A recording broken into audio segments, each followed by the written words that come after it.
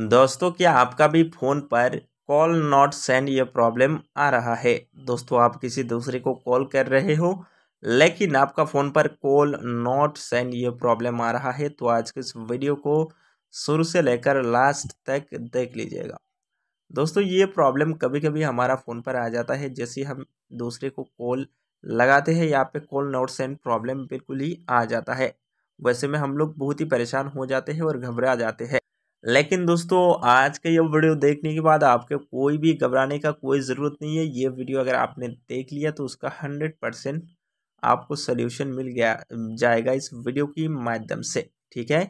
दोस्तों, वीडियो शुरू करने से पहले आप सभी को मैं एक रिक्वेस्ट करता हूँ इस चैनल पर नए तो चैनल को सब्सक्राइब करके बेल आइकन को प्रेस करके रख लीजिएगा, ठीक है? दोस्तों, इसका जो एक ही रियल सोल्यूशन है, मैं आपको अभी बता रहा हूँ, बिल्कुल ही आप अपने फ़ोन को एक बार स्विच ऑफ़ कर लीजिए, ठीक है? अपने फ़ोन को एक बार स्विच ऑफ़ कर लीजिए, पावर बटन पर खींच के। यहाँ पे स्विच ऑफ़ दिखाई देगा। स्विच ऑफ़ तो हर आदमी करना जानते हैं। अपने मोबाइल फ़ोन को किसी भी आपका मोबाइल फ़ोन हो, क्यों ना हो, आप अपने स्विच ऑफ़ तो कर सकते हो ना अपने मोबाइल। तो दोस्तों, आप अपने फ़ोन को एक बार स्विच ऑफ़ करके ऑन कर दीजिएगा।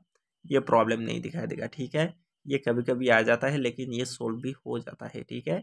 अपने फ़ोन को स्विच ऑफ़ करिए, फिर ऑन करिए। यह प्रॉब्लम परमानेंटली हट जाएगा ठीक है?